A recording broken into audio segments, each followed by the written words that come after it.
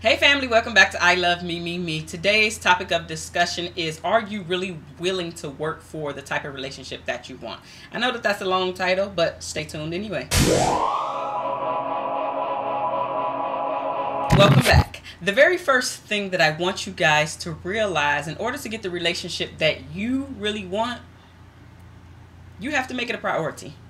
That's the very first thing. I know that a lot of people uh, think about relationships and sometimes they are just not on the radar to make it a priority. So, in order to get the relationship that you truly want, you need to make it a priority.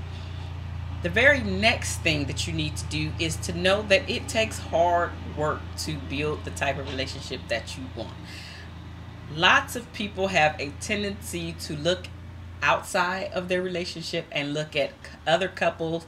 Um, a lot of people like to look at the celebrities specifically. I know I love them too, but Michelle and Barack Obama. Um,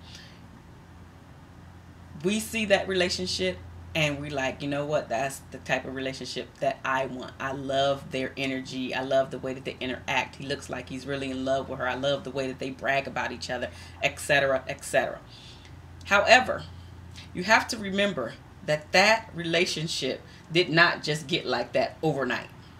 It took some hard work to get that type of relationship. So you have to remember it's going to take some hard work. It's going to take some um, some communication. It's going to take some compromise. It's going to take some patience. It's going to take some patience. It's going to take some patience. Did I say patience? Just saying. Hard work. All of that is wrapped around hard work. All right.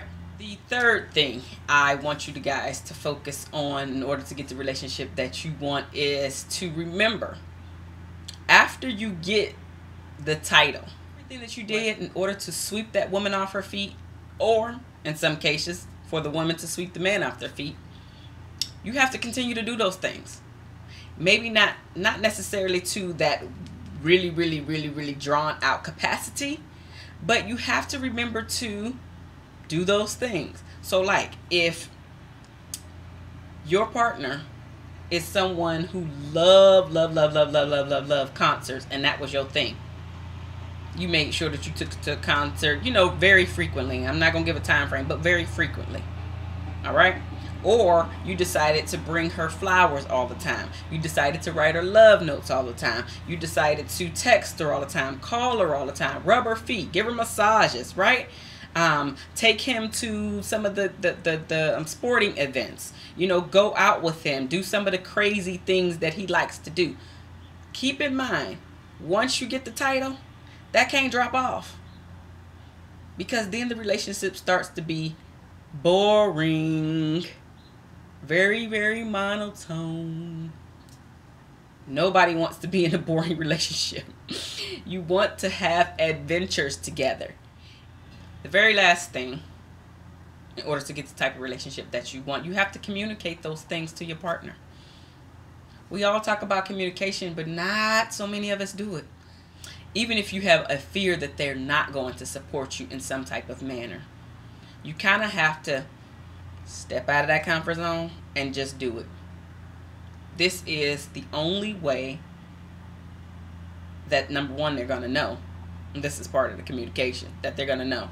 Number two, you guys are building a connection with each other because they now now they know what you need and what you want and they can have a tendency to provide that so what do you guys think what are some of the things that you are willing to do to work hard to make sure that your relationship is a priority. Put them in the description box below. Um, don't forget that your girl is working on a few online programs and those will be released within three to six months. Go ahead and give me some thumbs up because I love that and that's why I know that you guys are enjoying what you are hearing. And of course, don't forget to share me on your social media.